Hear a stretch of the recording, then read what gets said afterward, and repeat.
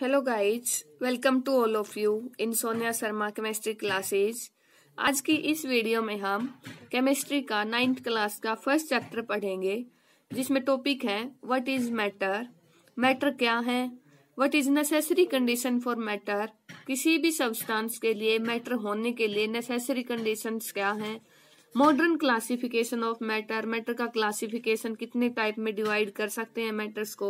और characteristics of particles of matter जो matter के अंदर छोटे छोटे पार्टिकल्स होते हैं, उसकी प्रॉपर्टीज़ पढ़ेंगे और किसने मैटर का मैटर के अंदर जो स्मॉल पार्टिकल्स हैं, उसकी एग्जिस्टेंस का बेस्ट एविडेंस दिया। तो चलिए देखते हैं, शुरू करते हैं हम। What is matter anything which occupy space and has mass is called matter कोई भी चीज़ दुनिया की जो स्पेस ऑक्यूपाई करती है और जिसका कुछ न कुछ मास होता है, वो हर एक चीज़ मैटर होगी। आप एग्ज़ाम्पल में कुछ भी बता सकते हो।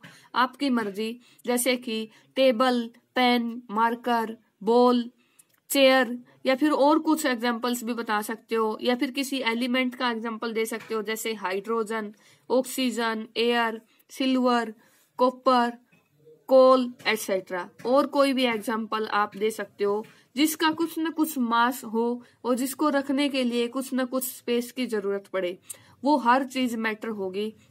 तो चलिए नेसेसरी कंडीशन ऑफ़ मैटर किसी भी सब्सटेंस के लिए मैटर होने के लिए नेसेसरी कंडीशन क्या है? It should occupy space and have mass किसी भी सब्सटेंस के लिए मैटर होने के लिए नेसेसरी कंडीशन क्या रहेगी? कि वो स्पेस ऑक्यूपाई करे और उसका कुछ न कुछ मास हो। तो उसके बाद Indian philosopher said that all the matters was made up of five basic elements जो सभी जो सभी मैटर्स हैं, वो पाँच बेसिक एलिमेंट से मिलके बने हैं। तो चलिए देखते हैं कौन से कौन से पाँच बेसिक एलिमेंट्स हैं वो। Air earth fire sky and water and उसके बाद modern classification of matter two ways से हम क्लासिफाई कर सकते हैं मैटर को। तो first on the basis of physical property and second on the basis of chemical properties physical property के बेस पे हम मैटर को फिर तीन टाइप में डिवाइड कर सकते हैं solid liquid and gas and chemical properties के बेस पे हम मैटर को क्लासिफाई कर सकते हैं एलिमेंट्स कंपाउंड और मिक्सचर तीन टाइप में डिवाइड कर सकते हैं आगे हम मिक्सचर की भी टाइप पढ़ेंगे और उसके बाद है characteristics of particles of matter किसी भी सब्सटेंस के जो मैटर है, कोई भी मैटर है, उसके अंदर जो स्मॉल पार्टिकल्स एग्जिस्ट करते हैं, उसकी जो प्रॉपर्टीज़ है, वो क्या क्या प्रॉपर्टीज़ रहेंगी? फ़र्स्ट है particles of matter are very very small matter के अंदर जो स्मॉल पार्टिकल्स हैं, वो क्या रहेंगे? वेरी वेरी स्मॉल हमेशा बहुत स्मॉल पार्टिकल्स होंगे मैटर के अंदर. Second the particles of matter have space between them matter के अंदर जो पार्टिकल्स होंगे, उनके बीच में क्या रहेगा? कुछ न कुछ स्पेस रहेगा। Third the particles of matter are constantly moving matter के अंदर जो स्मॉल पार्टिकल्स हैं, वो लगातार मोशन में होते हैं, वो लगातार मूव करते रहते हैं। And fourth is particles of matter attract with each other जो मैटर के अंदर स्मॉल पार्टिकल्स हैं, वो एक दूसरे को अट्रैक्ट करते रहते हैं। And the best evidence for the existence and movement of particles in liquid was given by Robert Brown in 1827. तो स्टूडेंट्स जो मैटर के अंदर स्मॉल पार्टिकल्स हैं, उनकी एग्जिस्टेंस और जो मूव करते रहते हैं पार्टिकल्स उनकी मूवमेंट का बेस्ट एविडेंस सबसे पहले किसने दिया रॉबर्ट ब्राउन ने दिया इन 1827 और उसके बाद स्टूडेंट्स हम कुछ इम्पोर्टेंट टर्म डिस्कस कर रहे हैं इसके अंदर। Firstly what is Brownian motion the continuous zig zag moment of small particles suspended in a liquid और gas is called Brownian motion जो कॉन्टिन्यूअस जिग जग मोमेंट है।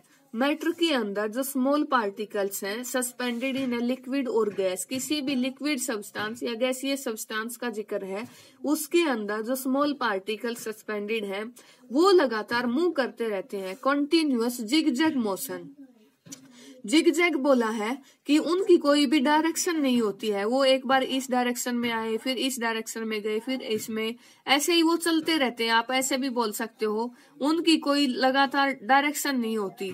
वो मूव करते रहेंगे ऑल डायरेक्शन में रैंडम मोशन के अंदर तो continuous zig zag movement of small particles suspended in a liquid or gas is called Brownian motion. And existence of Brownian motion give us two conclusion about the nature of matter. जो Brownian motion की existence देखी गई वो उसे हमें किसी भी matter की जो नेचर के बारे में दो कंक्लूजन बना सकते हैं हम उसके बारे में फ़र्स्ट क्या है that matter is made up of tiny particles हर एक matter very very small particle से मिलके बना है. And second is that the particles of matter are constantly moving और जो मैटर के अंदर स्मॉल पार्टिकल्स होंगे, वो लगातार मूव करते रहेंगे.